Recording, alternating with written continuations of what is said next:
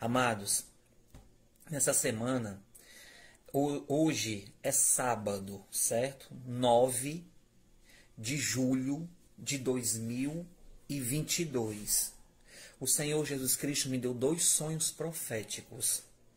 Ele me deu dois sonhos proféticos na madrugada de quinta para sexta-feira, amados irmãos. E aquilo ali, Deus me deu aquele sonho, e durante o dia, e, e, e uns dias atrás, antes do sonho, o Senhor ainda disse na palavra que eu abrisse a minha boca, que eu falasse, eu profetizasse, e assim seja feito a vontade do Senhor Salvador Jesus Cristo. Eu estou falando aqui, amados irmãos, para todo o Brasil, tô, eu estou falando aqui de Fortaleza, Ceará. Hoje é 9 de julho de 2022. Glórias, aleluia ao Senhor Jesus Cristo. Amados irmãos, tem uma, rua, uma avenida aqui em Fortaleza, Ceará, chamada Barão de Estudat. Eu trabalho de motorista particular, amados. E o Senhor, na madrugada de quinta para sexta-feira, me levantou em dois sonhos, dois sonhos proféticos. Dois sonhos proféticos. E aí, amados irmãos, no sonho, o primeiro sonho era como eu tivesse trabalhando, trabalhando, certo? Um dia de trabalho normal. E aí, eu estava dirigindo o carro nessa avenida chamada Barão de Studat, aqui em Fortaleza, Ceará.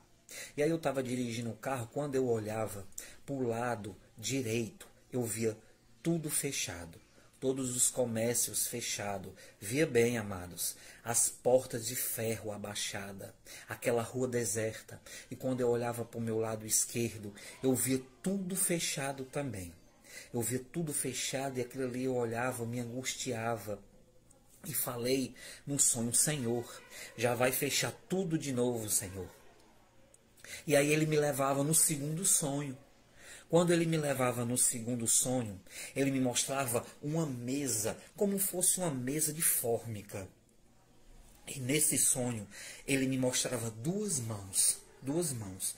As mãos não tinham braço, era duas mãos, daqui do punho para cá, como fossem duas mãos masculinas, as, as duas mãos muito, muito bonita, muito bem feita. Eu prestava muita atenção nos detalhes, amados irmãos. E aí eu via no meio das mãos uma massa de trigo. Uma massa de trigo. E as mãos tinham muito agilidade.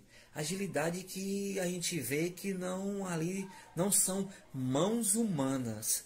E aquela mão puxava a massa, aquela massa muito liguenta, massa de pão, fazendo pão, puxando o pão, puxando, puxando ali o trigo, né? A massa, a massa bem amarelinha. Eu via bem puxando ali, sovando aquela massa. E eu me admirava e vendo aquela massa ali. E, e tinha hora que a massa as mãos eram mais ligeiras ainda fazendo aquela massa. E eu me acordei, eu me acordei, amados irmãos, aquele sonho e pedindo entendimento ao Senhor Jesus Cristo no primeiro sonho. E o primeiro sonho, ele me revelou que vai, vai fechar tudo de novo, o comércio vai ser todo fechado. E o segundo sonho, eu dizia, e o segundo sonho, pedi entendimento ao Espírito Santo.